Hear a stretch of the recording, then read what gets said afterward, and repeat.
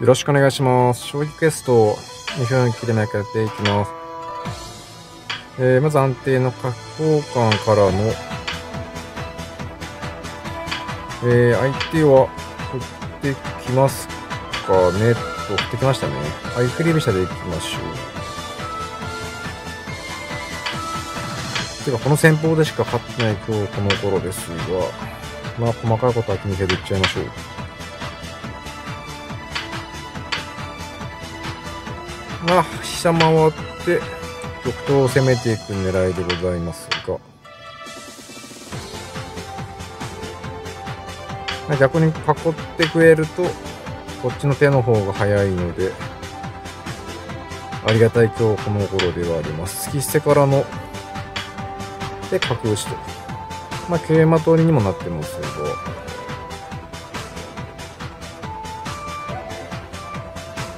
何もしてこなければ銀突っ込みますが、まあ、筆受けておきましょう。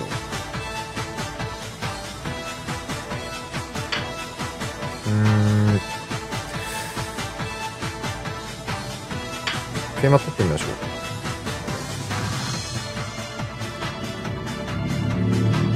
役に立つかわからない桂馬ですが、で、今の銀バサミで死んでたんじゃないのか？まあ、ラッキーでした。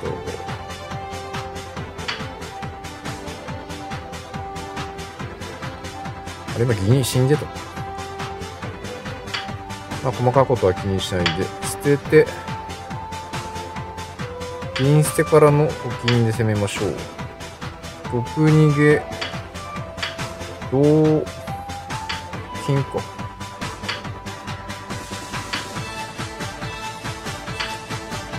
まあ、手堅く桂馬打っといて、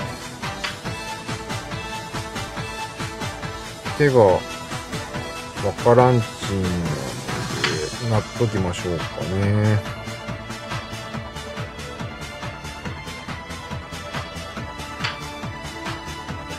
取って同飛車の風打ちは飛車回ってくる狙いですかね。まあ無視して、まだ詰めれないか。まだ詰めれない。っていうか見えない。えー、見えない今日この頃なんで、割っときましょう。ま、角がいいところにいるんで、玉の逃げ道を塞いでますね。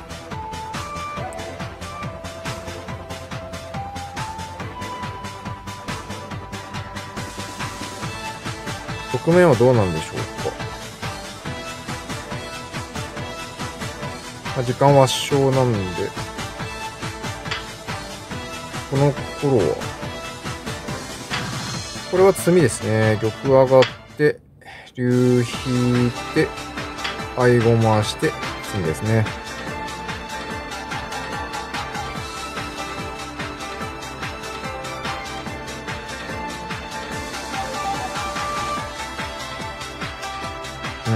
ありがとうございました。